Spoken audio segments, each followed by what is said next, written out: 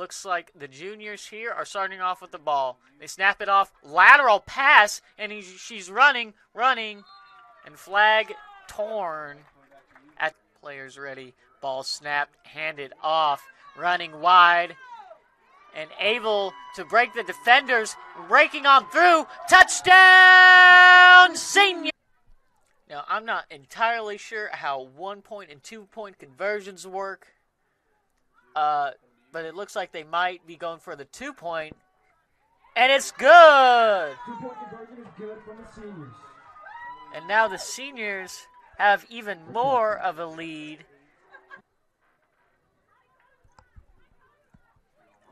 Well, it's snapped, aired out, intercepted by Haley Miller! Intercepted from the seniors. Juniors defense out wide, possibly open.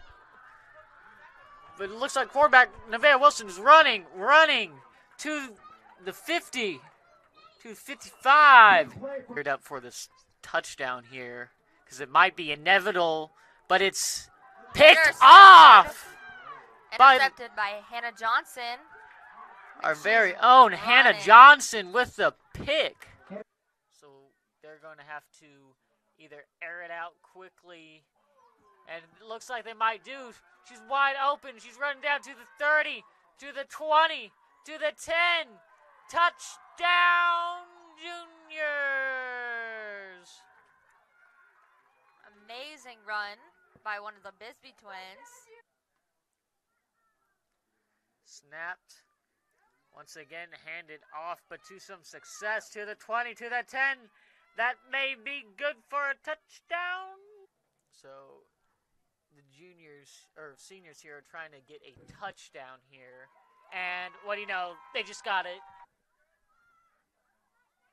Quickly making the play. Trying to run on through. It looks like a flat. their flag was pulled.